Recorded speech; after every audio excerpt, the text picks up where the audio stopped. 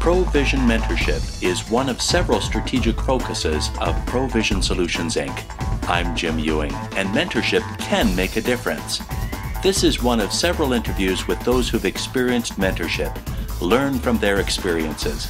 Then take a moment and share your experiences on our blog, ProVision Mentorship.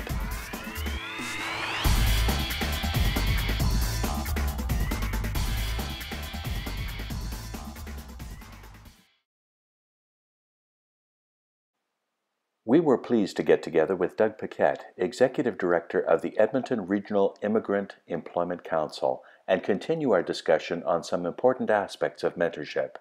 Thanks for sharing your insights with our audience. Oh, great. Thanks, Jim. Um, as, you, as you said, uh, I've been doing uh, work with immigrants for over eight years, uh, especially in the area of integration of newcomers, professional newcomers. Uh, prior to that, I've worked in the nonprofit sector in community economic development for about uh, 26 years, working all over rural Alberta and including uh, a short stint in South America.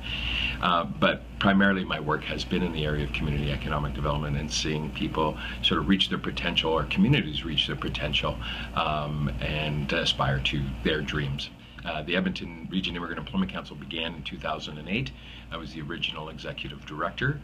And uh, basically we looked at at the beginning was how are we going to help newcomers who are coming to this country mitigate some of the barriers they're facing here in Canada. There's discussion that goes on from time to time about the advantages or disadvantages to having a formalized versus informal type of a mentoring relationship. And I'm just wondering if, if from your perspective and what you've seen, do you see any advantage or disadvantage to one over the other, formalized versus informal?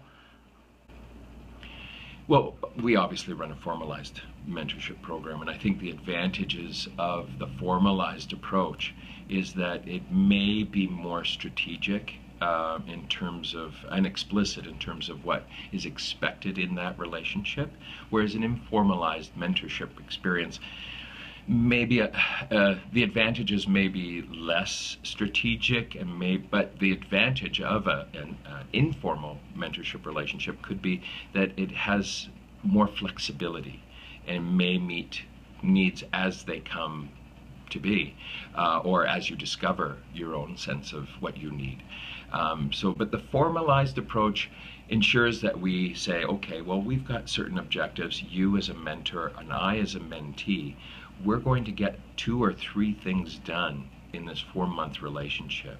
And so it's it's basically ensuring that those things are done. Um, and an informal relationship would be a little bit more, um, like I say, a little bit more uh, flexible, and may have some advantages um, as opposed to a formalized. Now, the advantage of an, a formalized um, program like ourselves, we do a lot of group work. So we and we have a, a manual that accompanies the, the program, and we have a start and an end point. So that uh, you know again, it's something that you can plan for, that you can anticipate and count on, or even you know sort of quantify at the end. It's done. This is what I was able to accomplish, and now I'm moving on. Whereas an informal relationship may be a little bit uh, uh, uh less outcome oriented. Well, uh, or maybe just too, a little bit more flexible to the needs that you have. Is the matching process important to the success of the mentoring relationship or experience? And any thoughts on how to improve that? Mm. You know, it's a, it's a big part of what we do in our mentorship program. And, um, it, you know, we take a, a lot of care in in determining who should be matched with whom. So when we have a civil engineer uh, that is looking for a civil engineer mentor, it doesn't necessarily mean that, that we're going to make that match on the outset, looking at both just the skill sets. What we do is is we look at some of the background, what kind of work that they've done in civil engineering, and then look at some of the, the background of, let's say, the mentee. And is there some congruencies or uh, some overlaps or some commonalities that we think that might be um, a little bit more interesting and, and make the mentor a little bit more comfortable in providing uh, feedback to the mentee. So we started off by doing a lot of the matching ourselves. We coordinate that. But what we've done since probably for the last year is we've gone to the mentors and shared the resumes with them. And it could be one or two or three folks, and they look at them and they review them and they say, you know, this one gentleman or this one woman, she looks like it could be a good match for me because we have some some commonalities. We've got some, we've worked on similar kinds of projects. I think that match may work better for me. So they become complicit in and, and a part of the selection process. And, and the idea is that we want these relationships to work.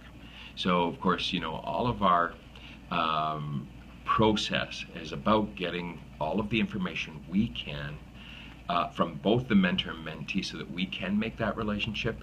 But the, the last part is for the mentor to participate in that selection. And then that way, and it's not a guarantee, believe me, but it's, I think it, it becomes a little bit more um, uh, that the, the mentor takes ownership of the mentored relationship from the beginning there any success stories or things that just kind of stand out, an experience that you felt was just overwhelmingly positive? We do over 120 matches a year, so we've got 120 great success stories every year. And uh, but one that comes to mind for me is a gentleman who's originally from uh, from Peru and uh, was as an uh, electrical engineer, and he went from one day being in our mentorship program and making $12 an hour to the next day working at uh, a fairly major uh, engineering firm here in the city uh, and probably making about $120,000 a year. Uh, so that to me is, it says, you know, it, it it's it's a very sad story to see some of these folks just surviving in our city and but seeing them you know sort of having great success and and that companies take advantage of their skill sets their knowledge their brain trust and and using it to their to Edmonton's advantage, to the business's advantage, um, and uh, and to see them and his family thrive today here in Edmonton, and I think that says a lot about certainly I would like to say about our program, but it also says a lot about the city of Edmonton uh, being a welcoming city and a, a, place to make a great start in your career, especially, well, in the case of the mentors, a mentee, uh, a lot of them have had a great start in their own home countries, so they've had to restart. So I'm proud to say that, you know, we are a part of that uh, picture uh, that success story and and uh, I'm proud to say that in Canada we do do this we do give people a leg up and using the business community as a part of that solution and I think that makes a lot of sense. If someone was thinking of becoming a mentor or looking for a mentor what words would you pass on to them as they would would ponder that scenario? I would say dive into the pool. I, it is an uh, it's a transformative experience. I mean, for anybody that's been a mentor in their lives, I think what it does is it takes people and reminds them that they themselves have been mentored at one point, and somebody has given them a leg up, and here's an opportunity to give back.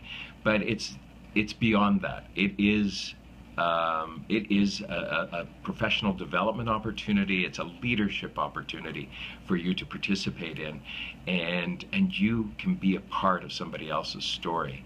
And I think uh, we can all say that if we look back in our own careers, there have been many that have been part of our own stories, and I would say be a part of somebody else's story. Doug Paquette, thank you for your time. Thanks, Jim. Now it's your turn to share your experience with mentorship. Visit our blog, Provision Mentorship.